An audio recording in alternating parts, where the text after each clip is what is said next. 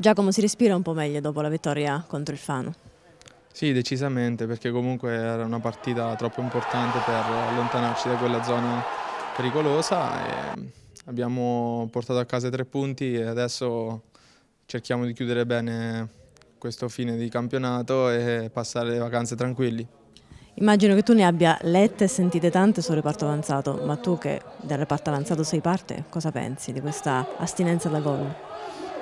Io penso che no, ormai dobbiamo cercare solo di fare più punti possibili e non fissarci troppo sul gol perché sicuramente dobbiamo migliorare tanto, perché non è possibile che anche sabato, cioè, in 90 minuti abbiamo fatto pochi tiri in porta e sicuramente abbiamo dei limiti e dobbiamo fare qualcosa in più, purtroppo non sappiamo perché.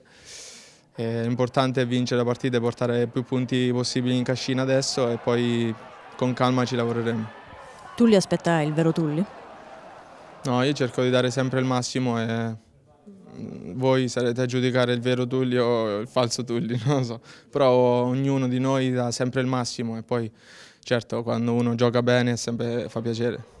Eh, sabato ci sarà un altro impegno difficile, diverso da quello contro il Fano, però la Reggiana arriva da una lunga striscia di risultati positivi e non sarà facile. No, assolutamente, è una squadra in salute con buoni giocatori, non è facile, ma eh, purtroppo in questo campionato tutte partite difficili, quindi andiamo là e ce, ce la giochiamo.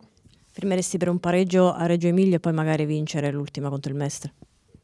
Ma se, se è così sì, firmerei, però nel calcio non si sa mai perché eh, ci sta anche che andiamo là a fare il colpaccio come a, fare una partita da 0-0, quindi eh, andiamo là a viso aperto. Siamo, abbiamo dimostrato che forse solo Pordenone ci ha messo un po' i piedi in testa in questo campionato, quindi andiamo a giocarcela. No?